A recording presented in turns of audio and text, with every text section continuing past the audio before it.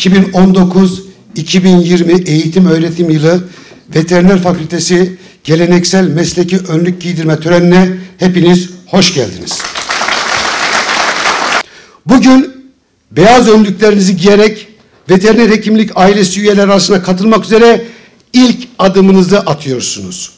Bu önlüğün kutsaliyeti hepiniz tarafından bilinmektedir.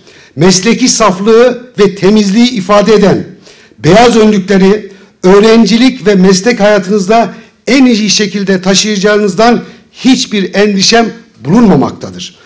Kırgızistan Türkiye Manas Üniversitesi'nin huzur iklimi içerisinde uluslararası standartlarda dizayn edilmiş fakültemizde gelecek elimizde sloganı ile sizlerle birlikte el ele geleceğe hazırlanmak istiyoruz.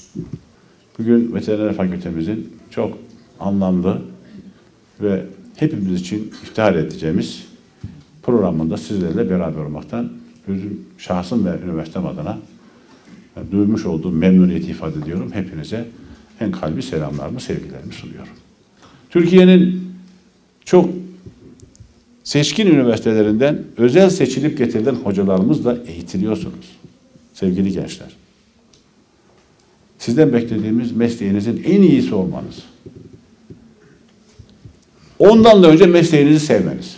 Çünkü çok güzel bir meslek. Çok anlamlı bir meslek. Doğrudan bütün canlılara hitap eden meslek. Sadece hayvanlar değil ki. Şöyle bir bakarsanız bağlantı itibariyle bütün canlılara hitap ediyor sizin mesleğiniz.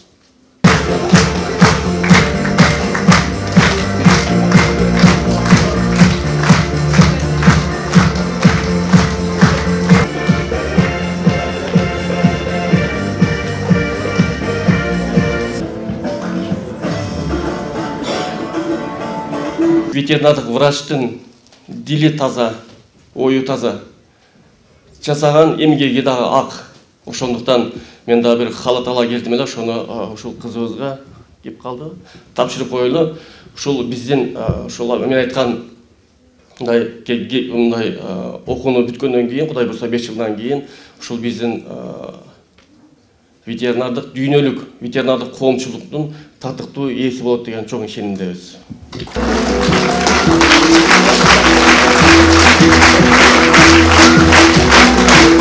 халат кийгизүү аземи менен куттуктап кетем. Азаматсыңар эми ушул руководствого кыргыз түрк манас университетинин ректорго декандарга баардыгыңыздарга ыраазычылык билдиребиз ата энелердин атынан ушундай ар бир студентке көңүл буруп ар бир түшүнбөгөндөрүн кайра кайра талыкпастан түшүндүрүп ушундай мээнет кылып окутуп атканыңыздарга терең ыраазычылык. Баарыңыздарга ак жол ийгилик каалайм. Ушул кесипти аркалап кыргызстанга ар ким өзүнүн эмесине өлкөсүнө чоң салымын кошот деген үмүттөбүз. Рахмат.